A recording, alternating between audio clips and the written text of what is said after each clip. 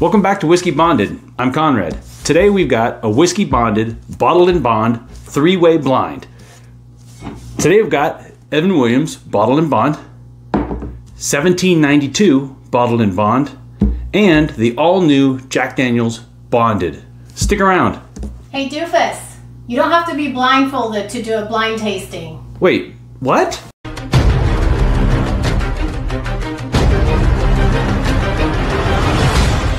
Obviously, we're not going to really do the blindfold. I was just playing around a little bit. But what we do have today for you is our very first blind taste testing. And I put out a question for everybody on Instagram. I appreciate you guys all chiming in as to what kind of a blind test you'd like to see.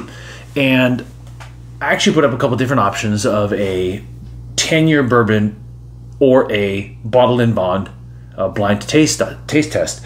Uh, everybody obviously voted for the bottled in bond, but I did make a substitution. You'll notice in the picture that I actually had uh, E.H. Taylor uh, small batch, which is a bottled in bond product also. But I just decided to swap that out because I know that some of you guys can't get E.H. Taylor small batch very easily, and it certainly is not in the price point for most of you, uh, even at what it's supposed to be, the $45.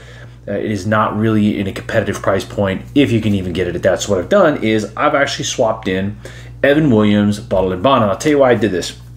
One, I see the Evan Williams bottle and bond popping up all over the place as hitting above its weight class. This is an extremely inexpensive bottle, so I put that in there with the 1792 bottle and bond, a Barton product that is, is super reliable. You guys, a lot of you guys like this. I love everything by 1792, um, and I've got the all new uh, Jack Daniels Bonded that just came out. I was actually able to pick one of those up, and I see everybody talking about them. Uh, hopefully, we'll be, get, be able to get our hands on a triple mash here pretty soon. But for now, we're going to do these three in a blind. I've asked my wife to come in and mix these up, so I don't know what order they're in.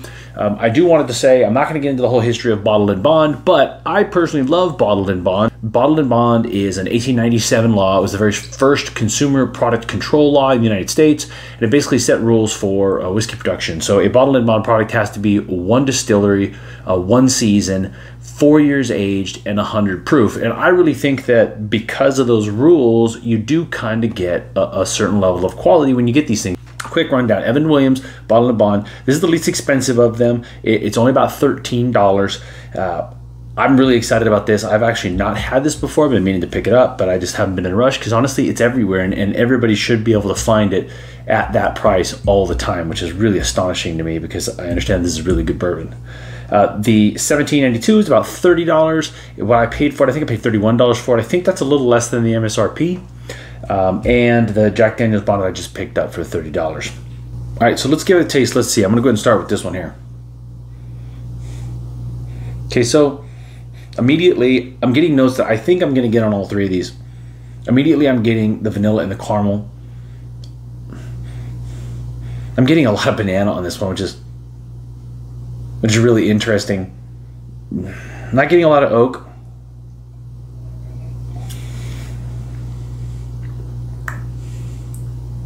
Okay, so there's a little of the oak. Don't get the banana. Get a little sweetness that maybe could be described as like marshmallow. Obviously the vanilla and the caramel. Like I said, I think that's going to come up in all these. Finish is pretty decently long.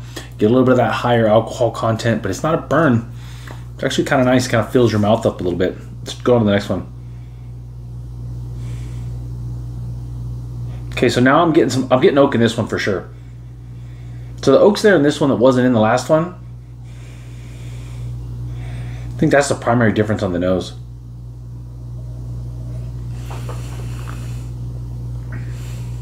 Yeah. So this one has got the same caramel and vanilla, but it's got it's got some oak to it. There's definitely oak in the finish. There's definitely oak on the palate. Much more oak present than than the, than the last one. The alcohol effervescence that that that alcohol that fills up your mouth is a little less present on this one. That's really good, which is astonishing because these are all the same proof. Last one. Okay, so on this one, definitely getting a little more rye, a little more rye spice on that. There's a little oak in there and the caramel.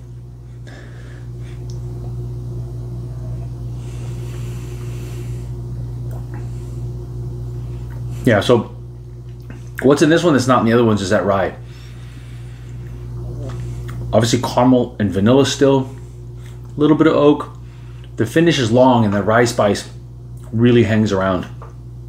Stays with you a little bit. If you like that spice, that little prickle that's on your tongue with a with a, with a higher rye, you're gonna like that. That's really good. So they are all a little different, all being bottled in bond. Uh, you know, you would think that, that they'd have a lot of similarities, and they do in the caramel and the vanilla, but they're actually all quite different. And it's kind of kind of tricking me a little bit because I know that one of these is half the price of the other two, and man, I have my suspicion, but I'm not 100 percent sure. So I'm gonna go in for one last taste before I put these in order of, of, one through third.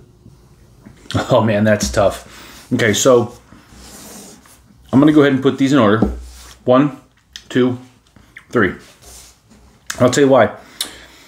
I actually kind of like the rye on the rye spice on this. I think it gives it a little more character in the flavor. It definitely makes that finish kind of linger a little bit longer, which is I like, especially when you're drinking neat out of a Glencairn. To take a little sip and then to get that experience of the nose and then the palate and as the palate changes and then as it fades and then that finish just kind of hangs with you you can take a sip and actually enjoy it for a little longer than just during the time that you're that you're drinking it. Because you, now i can taste that that rye spice as i'm talking. So i'm going to go ahead and give that uh, give that first place. Uh, i like this one and these two were pretty close to me but i like this one. I kind of like that banana note it definitely has a, a bigger nose to it the, the, the banana note on the nose is super strong which i like it it gives it character this one is just a little flatter. It's just a little less, a little less bold, a little less there, and it doesn't have, other than that oak, it doesn't have a real forward characteristic smell. Rye, banana. This is just the kind of the typical caramel and vanilla. It's very good. And like I said, one of these is only thirteen dollars, so that's, that's astonishing because I would drink any one of these, and I'd be very interested to try these with water or ice, but I'm going to give this one second because that banana note is very interesting and the flavors, under, underlying flavors are very good. They're very sweet. They're very pleasant. Um, that's actually really, really nice. It's an easy sipper because you take the spice out of it uh, that's out of this first one here and it just makes it sweet and easy. It actually reminds me a lot of the experience that I get when I drink Buffalo Trace. Obviously, Buffalo Trace doesn't have the, the banana in there, but that kind of sweet and easiness. So let's see what we got, what each one of these is. Okay, so. Oh, that's interesting. Okay, so number one is the 1792 bottled in bond. I can't say I'm super surprised by that. I know that the 1792 bottled in bond has the highest rye content of these, you know, somewhere around the 20%. I don't think that they actually say, but it has the highest, rye content, and I think that gives this just a little bit of something, a little bit more of a kick. Okay, so number two is the Jack Daniels bonded, making number three the Evan Williams bottled and bond. So I can't say I'm super surprised by this outcome. I'm a big fan of Barton. I'm a big fan of 1792. That bit of rye in there makes it really interesting. It's subtle. It's not overwhelmingly rye because I don't honestly love a huge rye spice, but a little rye spice is nice. It just gives you some character. This is the most banana I've ever think I think I've ever gotten on the nose on on a on any bourbon or whiskey. That is banana, banana, banana, banana, banana to me. Uh, you know, let me know in the comments if you if you get something different from this. I'd be really interested to find out if you get that. So that's really really good though. This is super easy, and I can see for thirty dollars this becoming your uh, a regular drinker on your on your bar. The Evan Williams, I think to me is the surprise of this blind, other than the banana on this Jack Daniels, which really kind of blows me away. I mean, it's really it's crazy. I mean, it's just banana laffy taffy, nuts.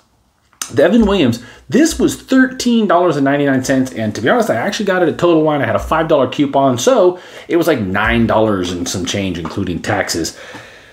That might be the best bargain in bourbon. This is, I mean, a surprise. It's, it's amazing how, how good that is. And it was close with these two. The banana was really, really fun for me, so I had to put that one first. But this is really a shocker, man. I can't believe how good this is for for as cheap as it is, and for a bottle and bond product for hundred proof, man. I don't know. I I, I did a uh, I did a video about uh, Benchmark Eight. I think it was my first video, and how much of a bargain Benchmark Eight was for eight dollars. You get Buffalo Trace product. I'll put a link in the video so you can check that out if you want. But This is twice the bargain. It's basically the same price, and this is actually solid. I could serve this to some people and probably convince them that that's four times as expensive as it is. Um, I'm gonna really be interested to let this air out a little bit more and see how much, see how that tastes after it's been open for a little bit. Maybe let it set a little bit. So there you have it. Number one, number two, number three in our whiskey bonded, bottle and bond, three way blind without the blindfold. Thank God for my wife to let me know I don't have to do that. This has been really tough with the blindfold on, to be completely honest with you. But you guys, if you have any uh, comments about this, if you agree with what I've got here, if you disagree with what I've got here, if you think there's one that I should have thrown in, if you think that I should have thrown in the E.H. Taylor and put it in here after all, my opinion, obviously, it would have won. I'm a sucker for E.H. Taylor, but let me know in the comments. You guys, please like, comment, and subscribe. Please tell somebody about the channel. I'm over on Instagram at Whiskey Bonded. You guys can come over there and talk to me all day long. We're really getting a nice following over there. I'd love to be able to switch that over to YouTube. So, guys, please come check me out on YouTube, subscribe here, and uh, we'll see you guys again soon. And until next time, I'm Conrad, Whiskey Bonded. Cheers.